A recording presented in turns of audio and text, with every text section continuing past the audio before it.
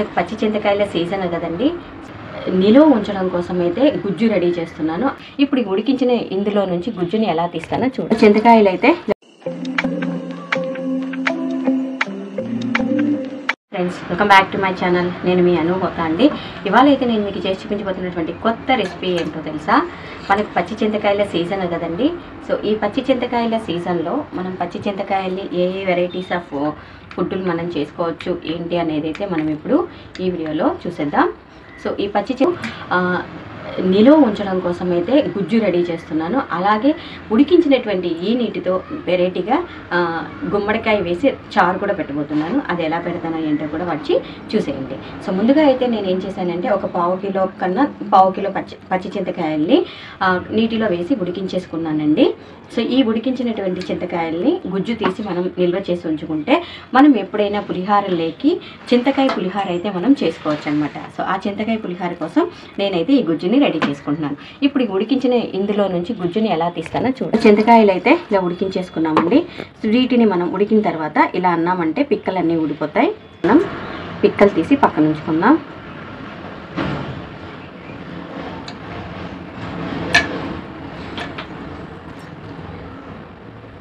ఈ తీసి ఉంచినటువంటి ఈ గుజ్జుని మనం నిల్వ పచ్చడైనా చేసుకోవచ్చు. అలాగే మనం పులిహార లేకైనా కూడా వాడుకోవచ్చు. లేదా ఎప్పుడైనా మీకు చింతపండు అవైలబిలిటీలో లేదు ఆ టైంలో ఈ ఈ దీన్ని కూడా మీరు చింతకాయ ఈ చింతకాయ గుజ్జుని వేసి కూడా మనము కూరలు కూడా వండుకోవచ్చు అనమాట ఇది నిల్వ చేసుకోవచ్చు.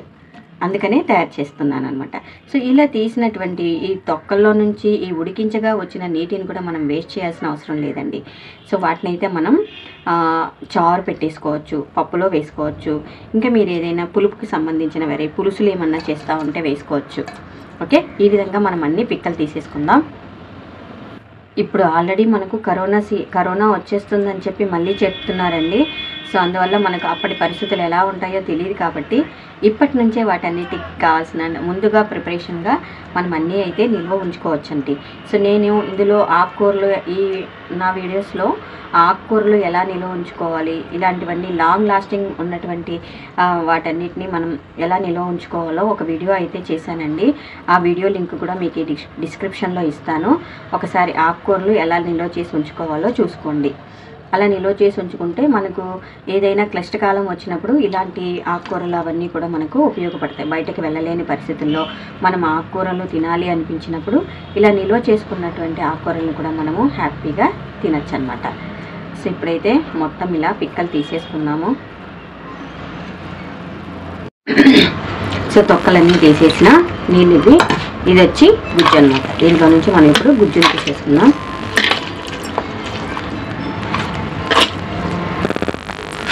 సో ఇలా నలిపేసుకొని పిక్కలన్నీ తీసి పక్కన ఉంచేసి ఈ గుజ్జునైతే పక్కన దాచేసుకుందాం.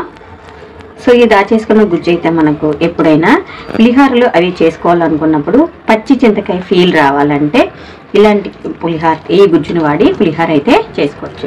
సో సీజన్ లేకపోయినా కూడా మనం పచ్చి చింతకాయలు తినాలన్న ఫీలింగ్ ఉన్నప్పుడు ఇలాగ మనం నిల్వ చేసుకున్న చింతకాయ గుజ్జులతో పచ్చళ్ళు అయితే పచ్చళ్ళు కానీ లేదా పులిహారాలు కానీ చేసుకోవచ్చు అనమాట ఓకే? ఇప్పుడు దీని అన్నిటిని మనం ఒక గాజు సీసాలో కానీ లేదా ఒక ప్లాస్టిక్ బౌల్లో ఒక ఎయిర్ టైట్ కంటైనర్లో వేసి స్టోర్ చేసి ఉంచుకుందాం. ఈ చింతకాయని మనం గుజ్జు తీసిన ఈ చింతకాయని మనం ఒక ఎయిర్ టైట్ కంటైనర్లో వేసి దాచేసుకుందాం.